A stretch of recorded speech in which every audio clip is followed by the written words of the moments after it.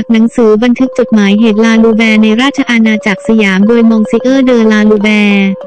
มีภาพเรือนรับรองของคณะราชทูตฝรั่งเศสริมแม่น้ำที่สร้างขึ้นเป็นการชั่วคราว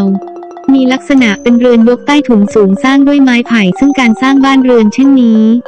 จะเป็นเอกลักษณ์สำคัญของชาวสยามที่การออกแบบที่อยู่ที่ปรับสภาพง่าย สามารถเคลื่อนย้ายได้ง่าย สามารถหนีน้ำหนีไฟหรือหนีการเวรคืนเพื่อใช้พื้นที่ของทางการ ลาลูแบร์อธิบายไว้ว่า